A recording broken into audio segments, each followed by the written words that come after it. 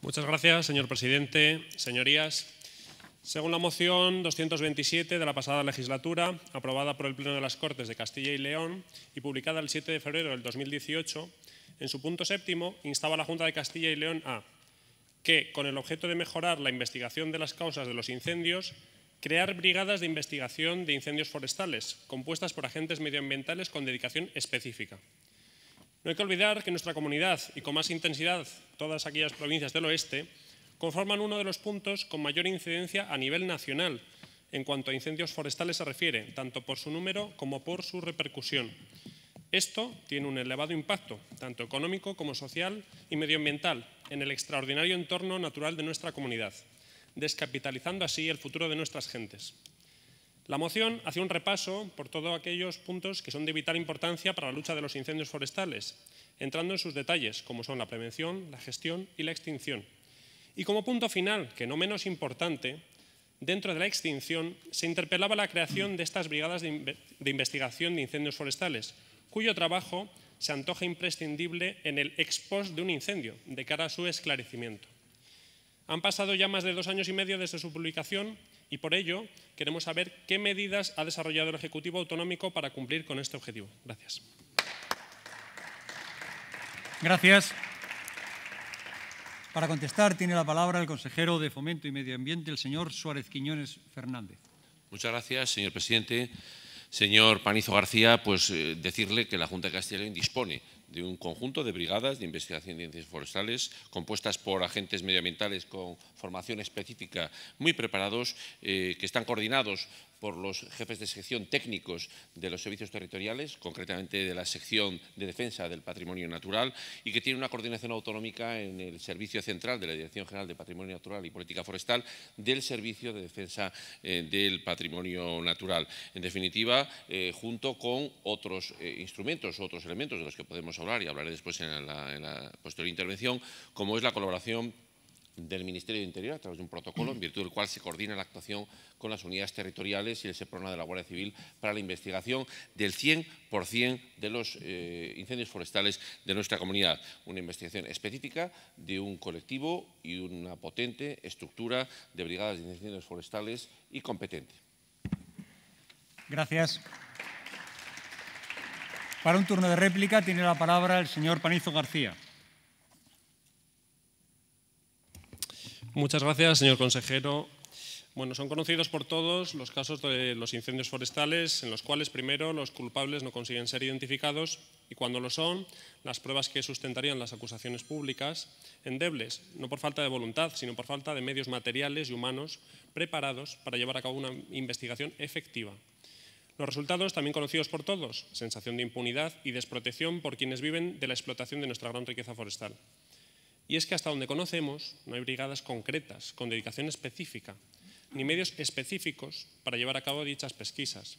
Sí que es cierto que se, han, dado ciertos conocimientos a algunos agentes medioambientales en este campo, pero nos parecen muy mejorables. No solo según nuestro criterio, sino según el de los profesionales que nos lo han comunicado.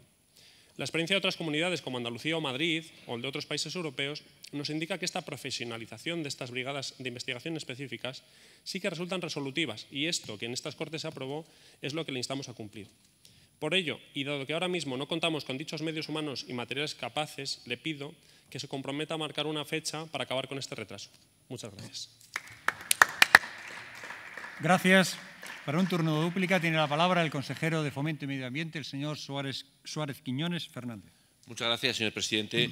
Bueno, yo siento disentir con lo, que usted dice.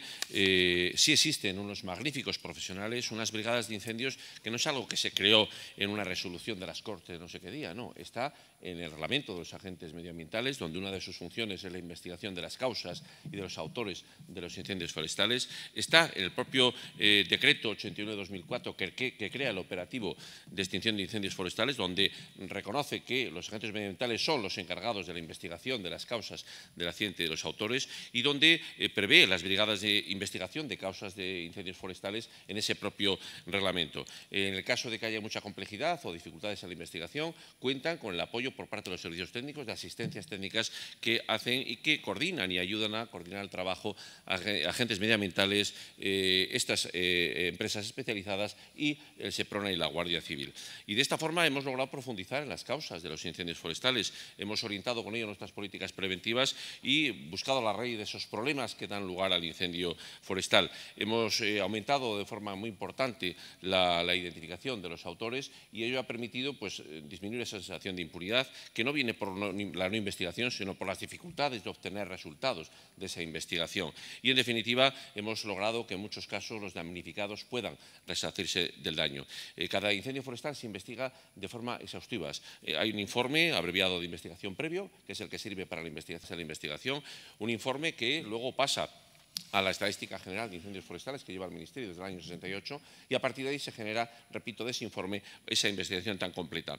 No, eh, no desprecie la formación que tienen los agentes medioambientales y el personal de campo de la Junta de Castilla y León. Es una formación específica por el Centro de Defensa contra el Fuego, un centro específico que está en León y que se dedica precisamente a la formación. Y por ello han pasado nada menos que 775 agentes eh, medioambientales. Hay un curso preparado de otros 32 y estas 90 plazas que se han publicado en la oferta pública de empleo de nuevos agentes forestales también pasarán por la formación específica y, eh, por tanto, eh, muy importante en materia de investigación de, incendios forestales. Una iniciativa de formación que no tiene ninguna comunidad autónoma, no hay ninguna comunidad autónoma en España que sea homologable en la capacidad y en la intensidad de formación de su personal que la de Castilla y León. Y, evidentemente, la Junta de Castilla y León les proporciona a la Consejería todos los medios materiales generales y específicos para Por lo tanto, en definitiva, señoría, consideramos que esas brigadas están plenamente implantadas en la comunidad, pero lo que sí que es cierto que hay una continua voluntad de mejora,